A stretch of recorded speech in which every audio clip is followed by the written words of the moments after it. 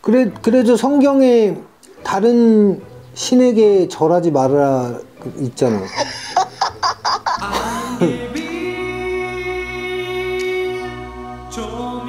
절에 와보신 적 있으신가요? 나요? 절에 절에 찾아가는 경우는 거의 없고 왜냐면 내가 기독교 신자라 종교를 가지시게 된 계기가 뭐 부활절날 계란 아, 좀 얻어 먹으려고 갔다가 아니 뭐 도대체 뭘 원하는 건데 아유. 뭐빵 가서 힘들어서 씨 하나님 밑에 매달렸다 이 얘기 듣고 싶어서 그런 거지 어? 아 궁금한 사실 제가 이제 어릴 때 많은 풍파가 있었잖아요. 그러니까 내 스스로의 잘못으로 인해서 그때 많이 의지를 했지. 사실 종교는 다 화합 분위기잖아요. 거부감은 없지만 깊이는 안 들어가려고 하지. 절에 와도 되도록이면 이제 자제를 하거든. 어 여보 여보, 나 물어볼 게 있는데 지금 이제 우리 유튜브 찍는다고 절에 왔거든. 어, 어. 108배를 해야 된다는데 해도 돼? 해? 뭐 그거 뭐 콘텐츠인데 뭐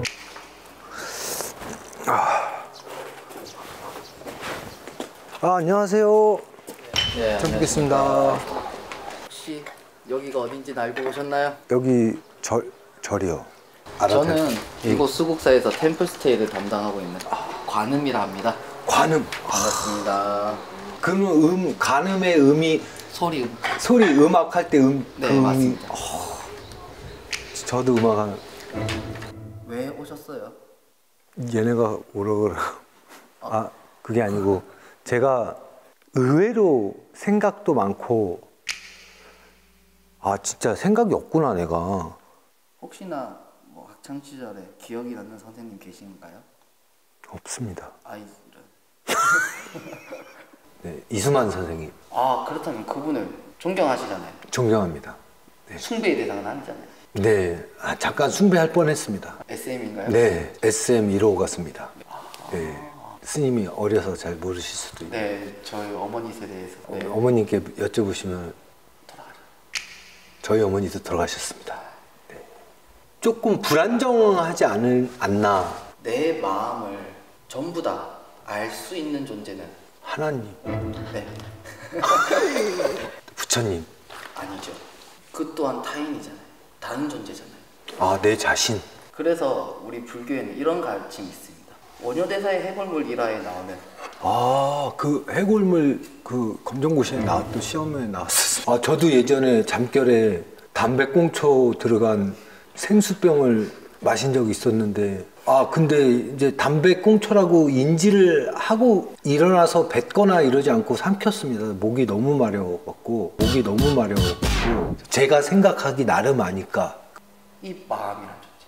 어디 있는지를 어디로 갔는지를 정확하게 볼 수만 있다 하면은 어떻게 통제를 해야 될지 어느 정도의 힘으로 통제할지 그걸 알 수 있다는 거죠. 뭐 마음대로 행동해요. 아, 제 마음대로요? 네, 마음의 이유를 찾아주십시오. 아, 제가 마음대로 하는 거에 대한 이유. 예, 마음이 그쪽으로 움직인 이유를 답을 찾을 수 있을까요? 답을 찾았으면 내 조기 안 가가 앉아 있었겠지.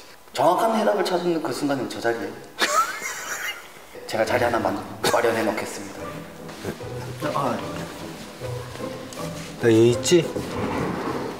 출가진 19년, 스님이 된 지는 16년째예요. 아 그때 한참 고등학생이셨으면 막 재미 재밌는 것도 많고 그랬을 텐데 어떻게 이렇게 아 일진이셨나요? 그럴 리가요. 진짜 꿈이에요? 아, 이게 앞에 기둥 하나, 둘, 셋, 넷. 뒤에 기둥 하나, 둘, 셋, 넷. 색깔이 다르죠? 금, 페인트입니다. 아 금이 말 그대로 금값이다 보니 한 돈에 20만 원 넘어요. 지금 1g 10만 원이 넘어요. 아 그래요? 와 왜 이렇게 비싸? 그걸 제가 왜 하느냐? 금을 다시 바르고 있어요. 아 다시? 우리 집이 금이 좀 많습니다. 아 지금 해요? 어, 하는 거 앉아서 말씀드려요. 네.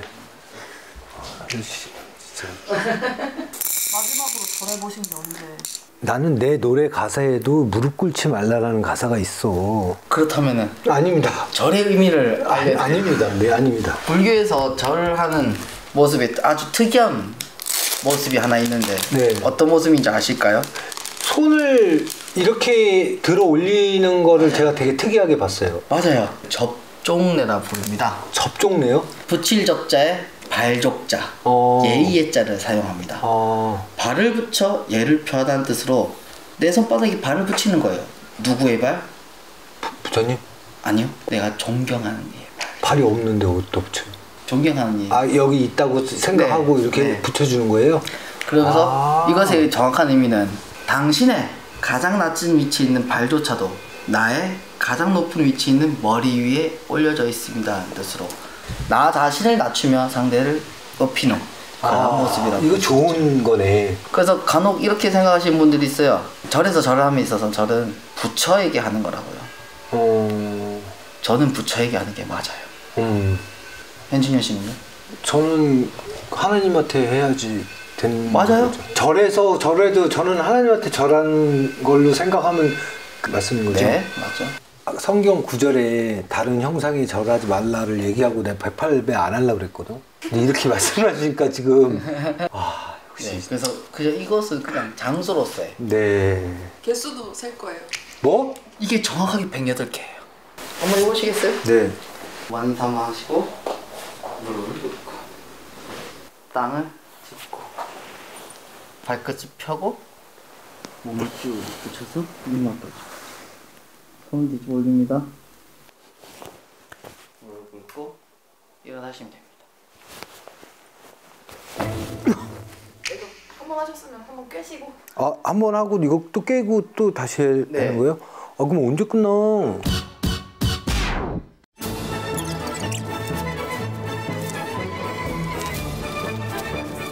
열 번만 하자, 인간적으로.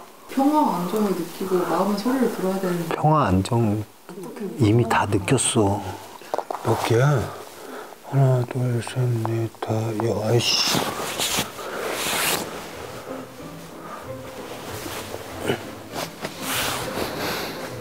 백팔배 처음 해본다.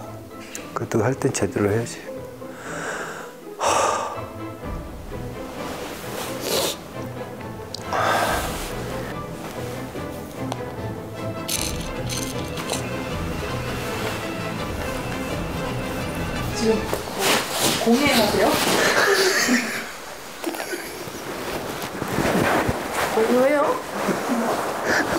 이건 끼워야 될 거 아니야? 이건 다 껴야 될 거.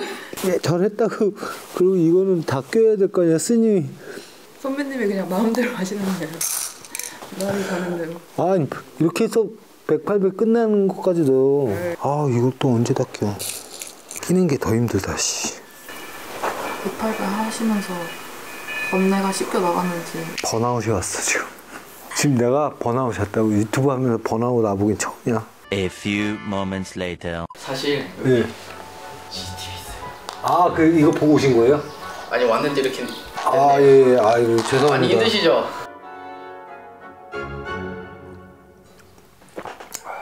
맛이 맞는지 모르겠네요. 아 맛있는데요? 이게 좀 제가 스님한테 무례한 질문일 수도 있고 한번 좀 물어볼게요. 여쭤보고 싶어서 저 진짜 궁금했거든요. 살다 보면 어떤 인간이 갖고 있는 욕망이나 욕구가 과도하게 치밀 때가 있, 을 거 아니에요. 인간이니까. 아 그렇죠. 네. 음참 다스리냐고요. 다스리고 네. 해결을 하, 하시는지가 제일 궁금. 욕심은 어느 때 난다고 생각하세요? 욕심이요? 뭔가를 과하게 원할 때 왜 원하죠? 갖고 싶으니까 왜 갖고 싶죠? 왜 갖고 싶다. 근데 우리가 욕심을 낸다는 것은 나 아닌 누군가는 가지고 있다는 소리예요. 제가 근데 말했잖아요. 마음이 움직이는 것을 보라. 그런 모습을 알면 되는 거예요. 그러면 통제가 가능하다. 스님들이나 이런 다른 종교의 성직자들이 욕망이 이제 인간이니까 생길 수도 있잖아요. 네. 그때 어떻게 해결을 해결하려는 게 아니라 그게 생긴 이유부터 찾아야죠. 아, 그래야지 해결 방안을 않을까. 뭐 그런 그런 네. 욕구가 생기거나 생각이 떠오를 때는 그 이유에 대해서 계속 생각하시고 그래서 그. 이유를 찾아서 정확한 이유를 알게 되면 스스로도 통제가 가능하다는 거예요. 이것이 과연 나에게 정말 필요한 마음일까? 어, 그 스님이 TV를 이제 잘 안 보시니까 잘 모르시는데 지금 전 국민들은 다 알거든요. 그러니까 TV를 보셨던 분들은 제가 이제 중학교 2학년 때 어머니가 돌아가셔갖고 어머니가 돌아가신 충격으로 인격이 멈춰버렸다는 진단을 받았어요. 이제 그 이후에 어떤 뭐 공황장애나 우울증이 심하게 오고 어떤 상황이 오면 14살 때 현진영으로 돌아가서 음. 그때 제가 행동하는 것처럼 한다는 거예요. 그러다 보니까 돌발적인 상황도 많이 일어나고 욱하고 그런 상황이 왔을 때 제가 어떻게 행동하고 어떻게 대처하는 게 그러한 행동을 했을 때 후회를 하시나요? 대부분이 후회를 해요. 후회라는 것은 항상 보면은 미래의 내가 과거의 나를 보았을 때 하는 게 후회예요. 40살의 현진영 씨가 14살의 현진영 씨를 바라보고 있는 거죠. 14살 때의 선택을 계속 똑같이 따라할 수밖에 없는 거죠. 오은영 박사님 비슷한 얘기를 하셨는데 아 정말요? 왜? 다시 고개를 돌리는 힘. 이 힘은 제가 뭐라고 말할 수가 없어요. 제가 해야 되는 거죠. 네. 어, 이것도 똑같아. 현진영 씨는 14살 때의 나의 자신의 모습이 너무나도 달콤한 거예요. 어, 엄마가 돌아가신 시점인데 그게 달콤했을까요? 살아계셨던 거. 아니, 저는 솔직히 스타가 되고 대한민국을 뒤흔들 때보다 엄마가 살아 있었을 때 13살, 12살 때가 가장 행복했던 것 같아요. 보고 싶은 거죠. 그리운 거구나. 네. 더 보게 되는 것이고. 아, 와. 오관음 스님. 네. 아, 와. 그분이 유명한 건 알고 있는데 그분이 하신 얘기는 들어본 적이 없어요. 아니, 그분, 이제 제, 그, 제가 그분 프로에 나갔는데, 아, 그것 또한 본인이 헤쳐 나가야 된다라는 말을 그분이 또 그렇게 했는데, 지금 스님도 이제 똑같이 하니까, 아, 이제 그, 그 의미를 이제 알겠어요. 아까 말씀하셨던 의미를. 아, 이제 불교가 뭔지 알겠어요. 아니, 뭐, 이렇게 얘기하면 저는 네. 지금 그 미천한 것이 또 어떻게 아이, 또 그렇게 뭐- 얘기를 하느냐, 네. 이럴, 이럴 수도 있는데, 나 스스로가 나를 다스리고, 어, 내가 인정하는 것들을 바라보는 것이 불교가 아닌가. 맞아요. 맞아요? 네. 우리가 이런 말도 쓰, 쓰긴 해요. 진정한 나를 찾아서. 마음의 소리를 들으셨나요? 아, 오늘 솔직히 처음에 좀 장난기가 가득했었어요, 나는. 근데 하다 보니까 내 스스로가 결정하고 내 스스로를 다스리고 뭐든지 나로 인해서 뭔가가 됐다라는 그 부분이 이해가 되는 순간부터 진지해지더라고, 내가. 정말 과거를 돌아보고 과거에 얽매이는 삶이 어, 나 자신한테 엄청나게 스트레스와 발전을 저해하는 그 상황을 만들어준다라는 걸 깨우치고 앞으로는 어떤 상황을 저질러도 후회하지 않고 앞만 보고 경주마처럼 달려갈 것을 굳게 다짐합니다. 아 이것이 엑스카라 신상 나와갖고 입고 왔는데 이거 가리잖아 이러면